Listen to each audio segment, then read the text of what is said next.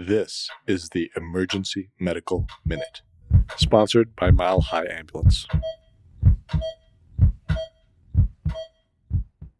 So, the quick medical minute I was going to do was on cardiac arrest and on uh, the difference between entertainment and reality. So, we just had the Oscars last night and a big Hollywood night, and so I thought it'd be interesting to cover what the perception of survival is with cardiac arrest that we get from movies and then what the reality actually is. Does anyone have any guess of, on average, how many people in cinema, what percentage of people survive cardiac arrest?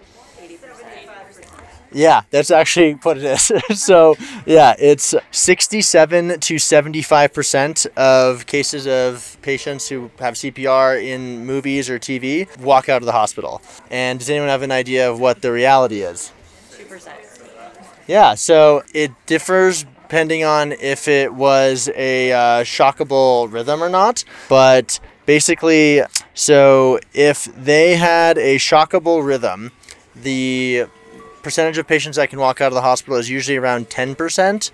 If it was asystole or a PEA, it was 2%. So there's just a, obviously a huge disconnect between what's in the media and what reality is. So I think it's just good to have that in our minds and it's just a kind of a useful tidbit to know. So I'd share that as a fun little medical minute. We'd like to thank our sponsor, Health One Continental Division, and Swedish Medical Center for their financial contributions to the EMM. Donations from them and listeners like you make it possible for us to fulfill our mission of producing and spreading free medical education to the masses. If you enjoy our show, please consider making a one time or recurring donation to help cover our operational costs and keep the EMM awesome. Click on the link in our show notes to make a donation. Thank you for listening.